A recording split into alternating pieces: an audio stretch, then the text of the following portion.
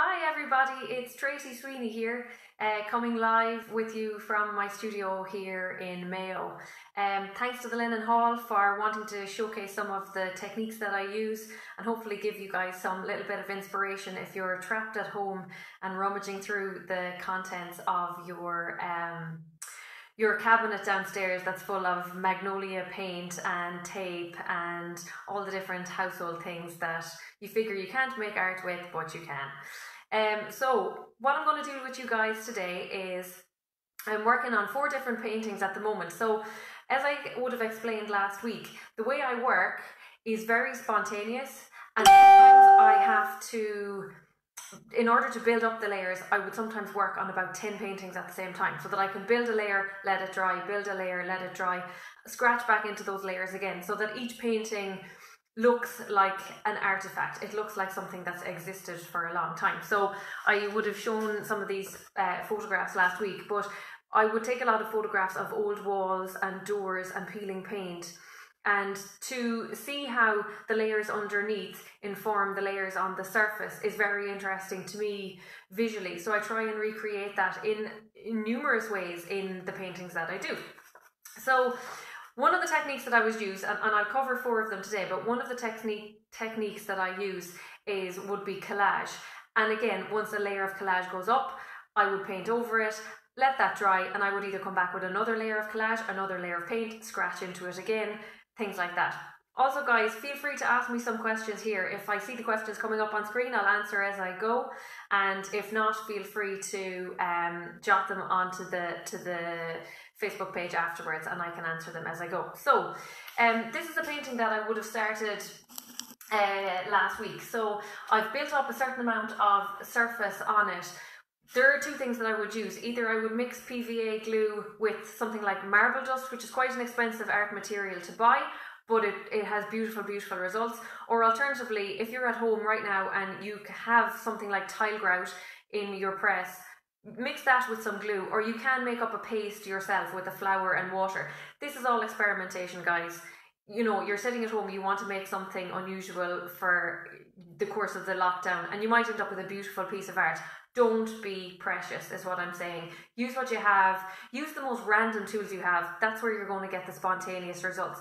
I love painting but i was told years ago the more finicky I get with a paintbrush and the more I try and recreate a photograph, the less free you become and the more that spontaneity spontaneity is lost in a painting. So please feel free to do as much crazy things as you want to do with as much tools as you want. A screwdriver is a great, great tool um, as is a Stanley knife. You don't, you don't need brushes, you just don't need brushes. So, this painting, I built up the initial layer on it with, um, last week I had no marble dust with me, so I was using some uh, tile grout mixed with glue. I've built up that surface. I've came back over it with a brush and now I have some oil paints here only because I'm in studio, but you might have some kids paints at home or you might have some paint in your press an old can of glass paint could be the answer to what you're looking for. So I have covered all of that in, in that nice paint. Now I'm using glue. You may not have some at home, but there is a way that you can build up um, a kind of a glue surface with flour and water. Look it up. It's called wheat paste. Uh, all the graffiti artists out there use it. Not that I'm advocating that you should wheat paste the walls of anywhere, but that's how you make it. Right. So you start by putting on a nice heavy layer of the PVA glue. Now, you're going to get messy, wear old clothes. In fact, do this outside or maybe you could do it with your kids if your kids are on the loose, which mine definitely are. Don't worry that this is white. If, if you do happen to have some um, some glue in your house because it will dry clear you won't be able to see any of the paint in this, um, or sorry, you won't be able to see any of the glue when we're completely finished with this. Now, you'll also wonder how we're gonna, with the texture of the of the painting, how is the paper going to stick to it all? Well, the truth is, it's not.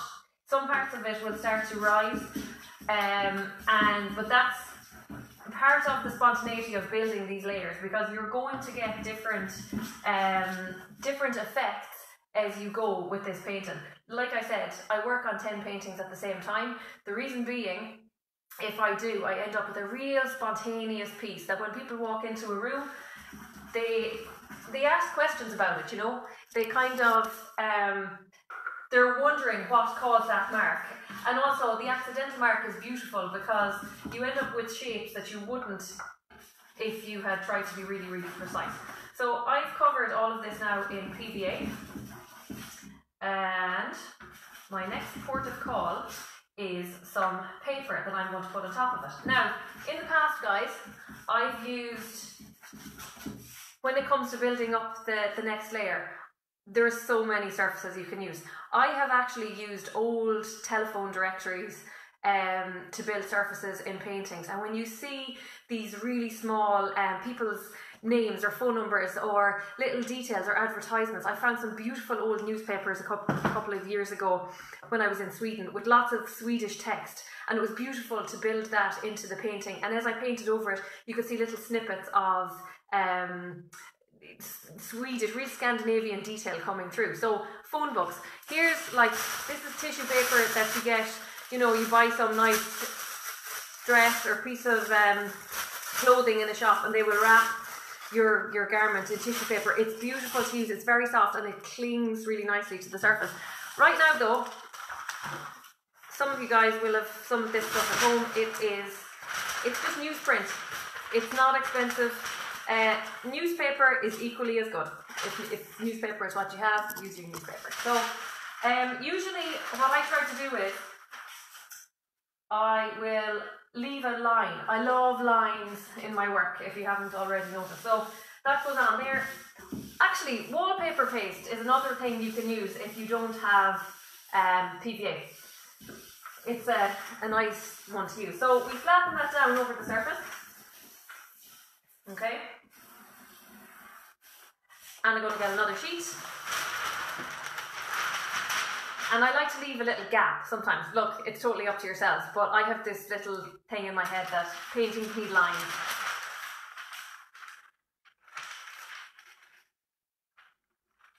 Sometimes the more irregular the line, the better. Because when I paint over this,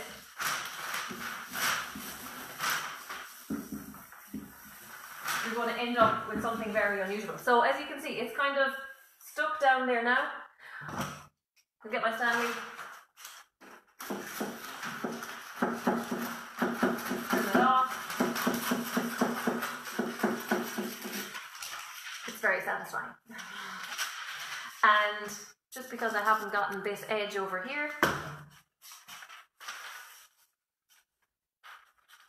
we can fill that in.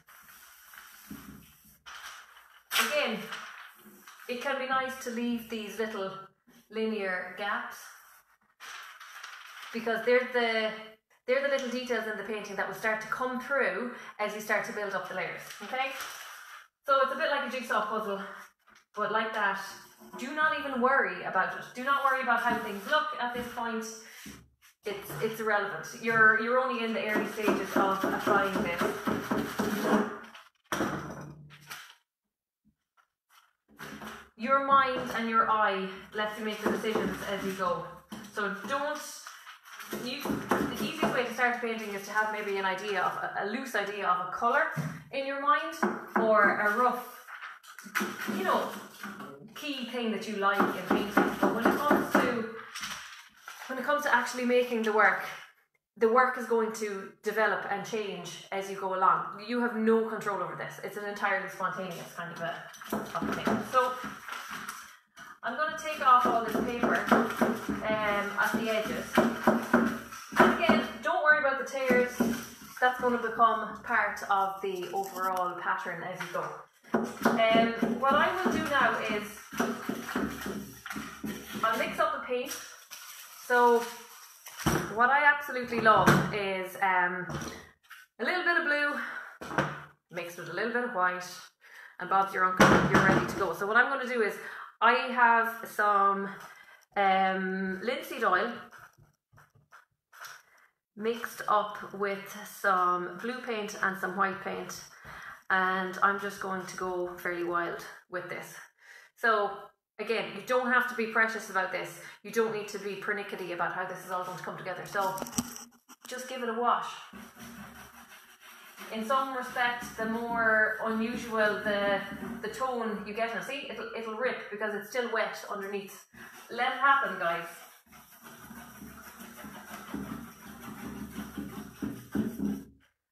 let it happen because the more unusual the tones that start to build up on these layers, the better as they go. Okay.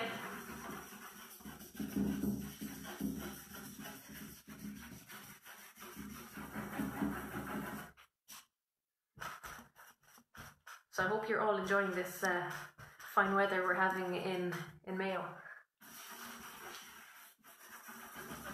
Okay, so quite simply, that's one way of building up this surface. Now, after I finish the video with you guys, I will go back and I will complete the whole the whole layer in my blue paint. Um, the PVA will dry at that point and I might even put that blue paint in along those layers as well. So it sinks into those layers and leaves quite a nice line. I will leave that to dry and I will show it to you next week as we put on another layer and as I start to scratch back into the surface. So that's the first that's the first um, idea that I can give you in terms of building up that surface, okay? Um, the next one that I want to show you guys is this. So, last week um, I worked on a small, small canvas that you would have seen. Um, again, going back to the lines in a painting, it's the another way of building up that surface is obviously to use masking tape or or frog tape. So if you haven't already heard of frog tape, it's like masking tape, but it's very easy to take off. It's very easy to put on. It's a lot nicer to work with. A bit more expensive, but it's worth a purchase uh, if you see it in different places. So last week I built up the surface of this board with um you, you can kind of see the texture on it with um, some PVA and some, I think it was tile grout. And we came back over that at the end of the of the class with some blue paint just mixed with some linseed oil and a very very large brush. Again, don't be afraid to use the household brushes. They're way better than the the art brushes, especially if you want to make a real loud and spontaneous mark. So the other way of building up these lines in your paintings is with tape. So what I've done is in this regard, it's a it's a square canvas so I am doing three or four blocks um, of of texture, and it, will it'll come together nicely because I'll make it quite dark at the top and quite light at the bottom, and it'll start to have that faded look. So what I've done is I've just got my masking tape, I've got my ruler, I've got a pencil, I've marked out some grid lines on it of where I want the tape to go, and once I put on that tape, I can start to let the paint come down over the tape. The tape won't budge. Literally, I could leave this tape on until the end of like however many layers I do and then take it off and you'll start to see that nice blue coming through at the end. So just to show you how I do that, I will move my camera down here. So again, the tape is on this section just to show you the my lines, my little guidelines are there. You can barely see them, but they're there. Um, come back with your tape and start to align things up. Visually, I like um, minimal kind of work. I like to have sections in the work that's it's like there's chaos in one section and there's calmness and you know everything is in order so it's the order versus the chaos in a lot of my paintings i like to have busy areas i like to have quiet areas the busy areas really add the passion to the piece but the quieter areas really allow your eye to rest and to wander into that section. So here we are. Uh, the tape is on and we're kind of good to go. Now i'm conscious that you guys are at home in your in your homes and you're wondering, well, um, how what am I going to use? So I'm I'm using house paint because it informs my own work at times because of the different aspects of uh, shine, like the different finishes you get from household paint. It's it's far more uh, varied than using oil paint. So for this, I've decided to use white glass paint. Oh yeah, bring it on. Can't beat it. Um, so get your large brush. Again, you can use a house brush, it's fine. Um, with white glass paint, I'm going to let this drip. Drips form a lot of the things that I do in the work. So I'm going to let it drip, I'm going to let it do its thing, it'll come down over the board. And again, I have to then walk away from that board, let it dry, and come back to it in a few days' time when it's ready to take another layer. And the next layer might be collage, it might be more masking tape. Who knows? It will depend on the mood on the day, but that's what art is all about, guys. So, here you go. Again, the kids love this, but make sure you've old clothes on them because they will run riot with house paint. They're outside painting a fence today. That's why they're not here with me. right, guys. So I literally would put that on as wildly as I can. Sometimes I would just put it on the top. Now you you can you can do this in different ways. Like you can build up surfaces with glass paint just in one section. Um, but let those drips come down. Let's let's see what happens to this in an hour's time and how it's all going to come together. I don't really need to put on any more than that. Gravity is going to take its course and the work it's it's going to come down the board.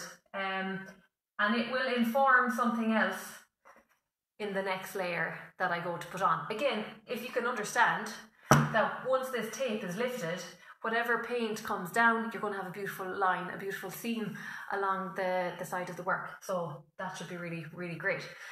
The next thing I'll show you is scratching. So I will take my camera and so this painting, this painting started over the course of the past week. Um, it's quite a large board by all means as you can see. Uh, the first layer, and again, you can see that I put the tape on this. That's what that orange line is. So it started off as a, a, a primed whiteboard that I then decided to um, use my what did I use? I used the PVA and the tile grout to build up this really textured orange layer underneath. I gave that two days to dry I came back to it a number of days ago with marble dust and uh, and linseed oil and this lovely verdigris kind of a mint green. I mixed that up on a sheet of cardboard. It was very thick and I applied it with none other than uh, old credit cards or old hotel cards. So once you've, you know, built up your paint, your your kind of tile grout to give that surface.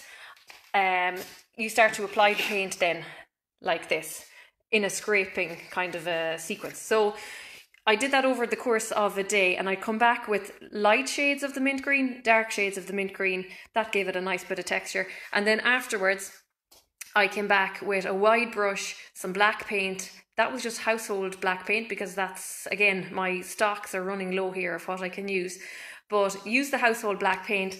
And now what you can see is that there's a nice kind of a, you can see the paint is moving. There's a nice kind of a tooth to the paint.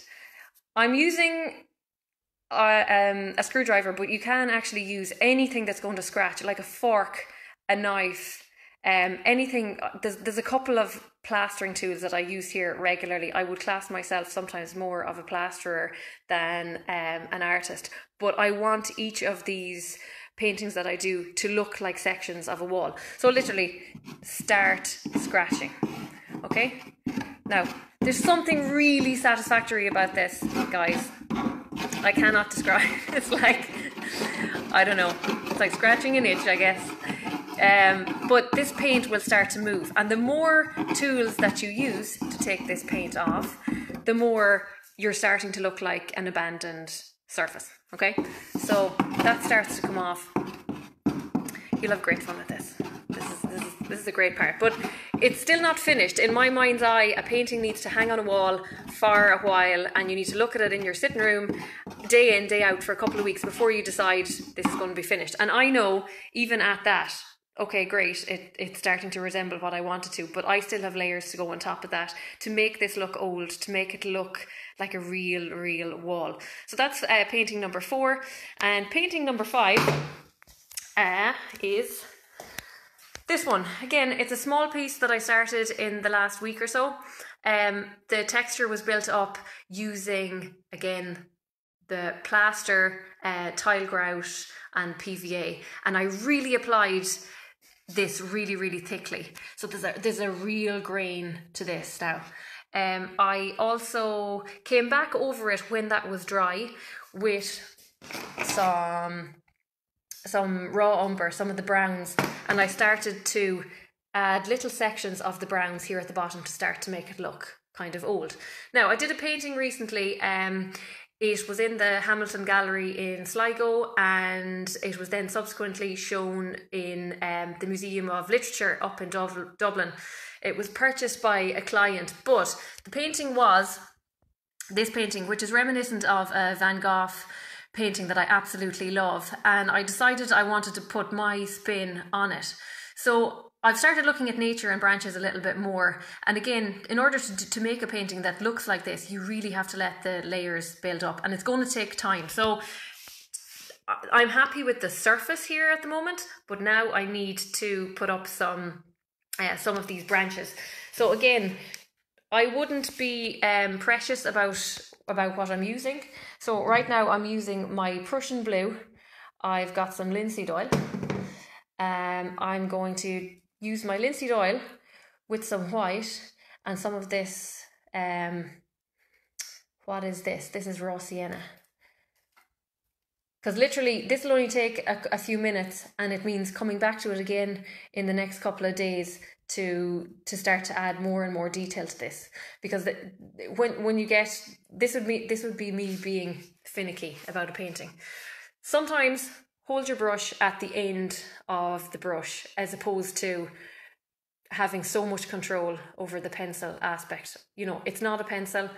You want to let this go free. It can sometimes be literally just letting the letting the brush do its thing. And branches will form themselves naturally. So I'll be working on this over the next couple of days. I can put up some quick posts of of how it's developing. But like let that paint just do its thing. Let the paint do the work. You you don't need to. You know, you really don't need to put labor into it because that's not what's going to um, make the piece a spontaneous piece. Uh, sometimes when you do this kind of work as well, use that thick brush because that will help to make branches nice and thick and then come back with a smaller smaller kind of a more neater kind of a brush. Don't be worried if the branches change colour as you go down. Why like nature doesn't nature doesn't worry. Just do it. Because you're going to start building up shadows by using darker colours on that. So let the paint roll into the surface of it. I feel like that guy, uh, Bob Ross, except I don't have his crazy hair. Talk to the canvas. um, so we keep that going there. Now, I will do a little bit more work on this today and I will put up some posts of it, but I won't finish it because I want these four paintings that I am working on with you guys. Um, I want to be able to show more of them to you over the next. I have uh, two more classes to do next Wednesday and the following Wednesday, so it'll be nice to be able to have a finished piece to show you guys at the end of it. Um, so that's my four pieces. I'll just show you this piece that I finished um, for a client in the last few days. A friend of mine, Anne Marie, if she's watching, she got in touch lately and said that she was looking for a painting. Um, normally pastels are not my thing, but her idea was that she has a sitting room and that she wanted um, all the colours in a painting that she could have in a painting so that whenever she decides to change the wall colour that uh, it will suit. And I thought that was a really interesting request. So put that together for her. It's just finished in the last few days, but the texture is really great in it. It's very um you know, it, it literally it took it took a few weeks because I was putting on bits of white, bits of lilac, bits of blue, bits of darker blue, bits of brown, and you end up with this beautiful richly like you want to touch that surface. It's a very very tactile piece. So uh, it's lovely to work on these projects. So guys, I'll turn this camera around. Um, lovely to chat to you again today. I look forward to having a chat with you again next week. And if you have any questions, feel free to send them on. Um, but just go wild and, you know, don't hesitate to put a mark on a board because you will end up with something beautiful that you've made. Like when I when I go to the Tesco's of the world and see how much mass produced, badly produced copies of art is out there, it's it, it's horrendous. You know what I mean? You have all this stuff in your house, even if you think you don't. You can make a painting with magnolia paint and some lead pencil on a, on an old piece of board or timber that you have at home. It is actually that amazing. Some of the most beautiful art I've seen is work on cardboard, and it's stunning. So do it, enjoy it, and again, if you have any questions, please, please, please throw me uh, an email or send a message on the on Facebook. Or my website is www.tracysweeney.com, and I'll talk to you soon. And thanks for all the comments coming in. It's lovely to know that uh, there's a couple of people out there getting some inspiration. Thanks, guys. Chat soon. Bye.